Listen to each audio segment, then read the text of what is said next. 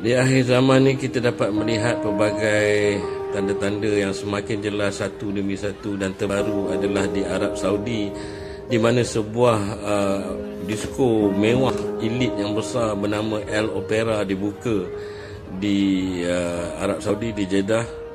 Dan uh, ini juga di diikuti dengan pelbagai siri konsert dan muzik yang sedang berlaku diikuti juga dengan beberapa pendekatan Arab Saudi yang semakin rapat dengan Yahudi, dengan Israel dan dengan Amerika. So kita lihat apa yang sedang berlaku di Arab Saudi ni. Di Jeddah terdapat Mekah, di dalam Mekah adalah masjid eh, Masjidil Haram dan Kaabah.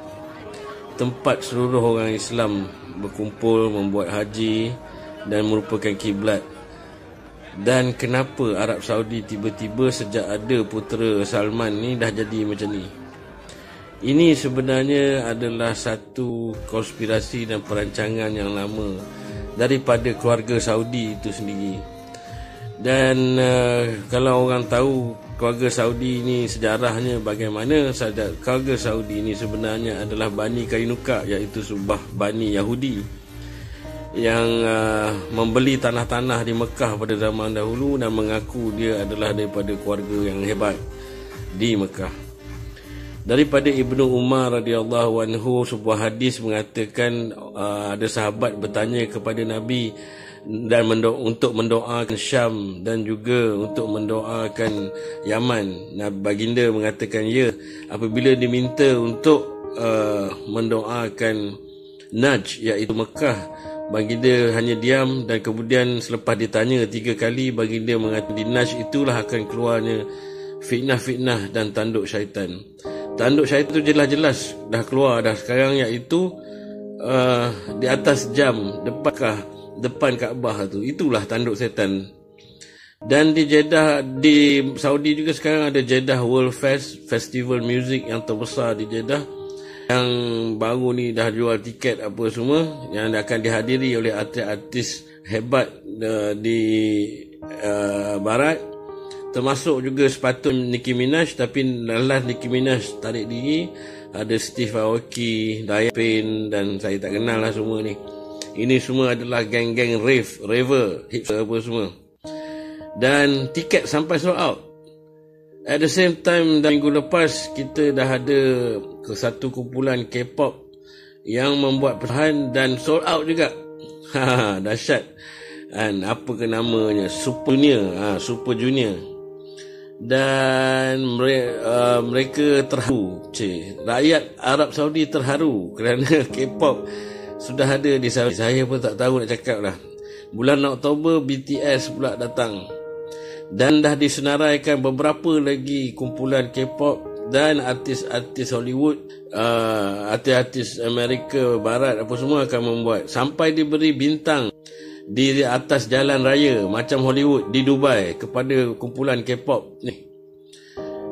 Inilah dia benda-benda yang pelik dan ganjil yang makin berlaku di akhir zaman ni especially apabila dekat Saudi memang kita susah nak fikir macam mana boleh jadi macam ni. Ha, ni satu lagi band KSA pula K-pop Straight ha. Dan baru-baru ini nampaknya Arab Saudi menyokong China kerana memenjarakan dan menyeksa orang-orang Islam di Uyghur atas dasar kononnya untuk mengurangkan uh, terorisme. Ini semua pun semakin pelik. Saudi among 37 state backing China Xinjiang which US call concentration camp orang barat, orang kafir lawan dan kritik orang Islam yang sokong untuk seksa orang Islam. Ini tak pelik ke?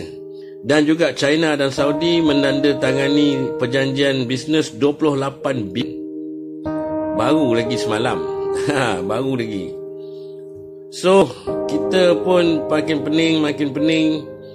Dan kita melihat Saudi menyokong orang-orang Israel, menyokong Yahudi untuk membuka pertanian di Palestin. Wartawan-wartawan uh, Saudi juga menyokong Palestin. Trump juga mengatakan Israel tidak akan wujud tanpa bantuan dan sokongan Saudi. kita juga melihat Israel dan Saudi Arabia hubungan bukan sahaja dari segi perniagaan tetapi dari segi kekeluargaan iaitu uh, keyahudiannya dan memang makin terang-terang ada cover-cover dah dah keluar dekat surat khabar apa semua.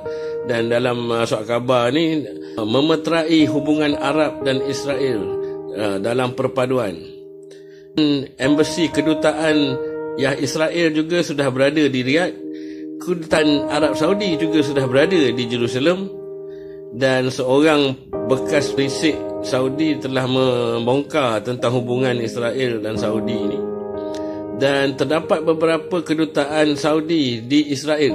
Ini pun pelik sebenarnya. Kan? So begitu juga dengan hubungan Israel dan Iran yang memang jauh ke Yahudian ya. So kononnya Iran ni nak berperang lah apa semua Semua ni saya tak percaya lah kan Benda-benda ni semua adalah fitnah dan gebang akhir zaman So berhati-hatilah Dan keep up to date